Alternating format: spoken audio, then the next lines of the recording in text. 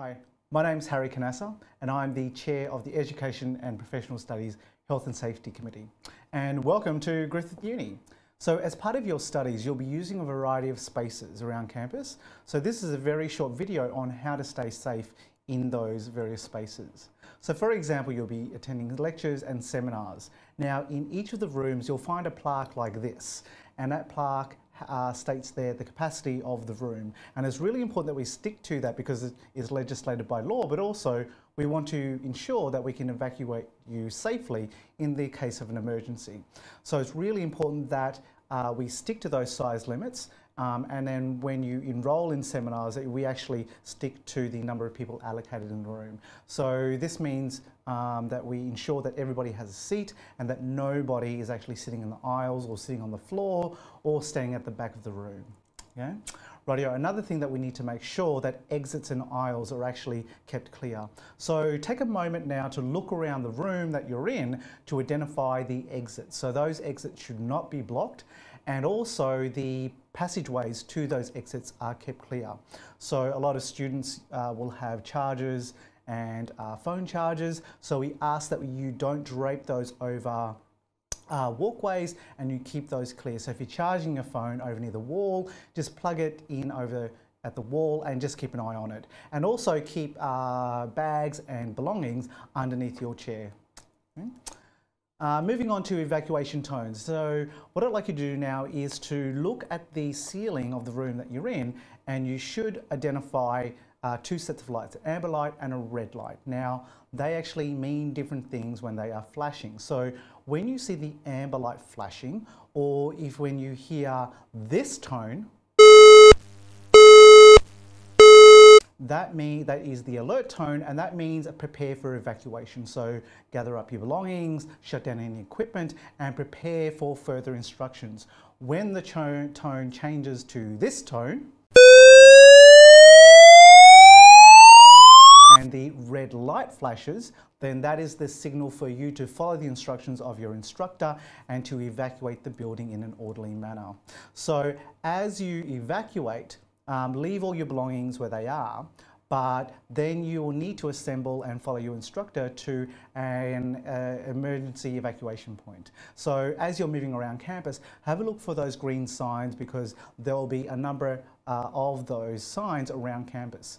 Now, each of the buildings at the entrances will have evacuation plans like uh, those that you can see on the screen. So as you're coming into a building, just try and spot one of those because it has the layout of the floor and how to get out safely out of that building. And also in the, uh, the bottom of the map, you'll notice there that it has a small insert of the campus showing where the evacuation point is for that building. If you do become ill or injured during the course of a lecture or a seminar, please do notify your instructor immediately who'll be able to either administer first aid uh, there and then or to notify a first aid officer for that building to uh, attend. Okay? Excellent. Moving on to food and drink. Now, we ask that you don't uh, bring food into the room, but that you consume food outside. Now, the rules have changed a little bit um, in terms of drinks. So, if you do bring a drink, a water bottle, or a coffee into a lecture or a seminar, we do ask that you have it inside an enclosed container. That way, that spills are minimised. Uh, at Griffith, we are a smoke-free campus. That means that there is to be no smoking, not only on in the buildings, but also on the grounds. Now, having said that, there are designated smoking and vaping areas around the campus. So have a look out for sandwich boards, like uh, you can see there, which actually show the location of where smoking is allowed. And if you are smoking cigarettes, we do ask that you uh, dispose of the cigarette butts appropriately in the bins provided. So um, now your lecturers and your instructors will obviously do an environmental scan when they come into the room, but um, if you notice any damaged furniture or surfaces or PowerPoints or even equipment, do notify your instructor so that we can actually get it fixed. Yeah? Um, so, and also think about your environment as well because it, you, you don't learn effectively when it's too hot, when it's too noisy, when it's too dark, or, or if there are odours, um, uh, uh, bad odours in the air. So please do notify your instructors if the environment is not quite right. in terms of rubbish, um, treat it like you would a national park. So whatever you bring in, you actually take out. Now we've got to, uh, there should be bins at the entrance of each of the rooms. There's also bins all around campus. And if you are drinking coffee out of a disposable cup, then we have specialised bins, like you can see in the in, in, the photo there, where you can dispose of those appropriately. Yeah? Um, in terms of security, do keep your valuables with you um, at all times. So for example, during a break, if you decide to go to uh, the bathroom, then we do ask you to, to take your valuables as well.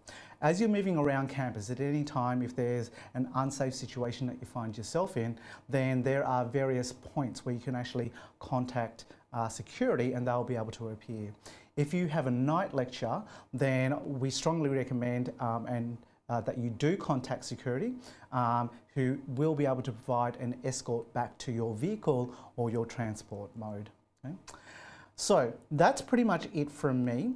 If there are any other issues that you identify or you don't feel comfortable speaking to your instructor about, then there's a phone number for you for there for you to ring. Um, so that will go through to health and safety. Um, there's an email where you can email as well, and there's my email as well as the, the chair of the committee with who you can contact. Okay, excellent. Enjoy the rest of your studies, and I'm sure um, if you're in science or maths, I will be seeing you in one of my courses. Bye for now.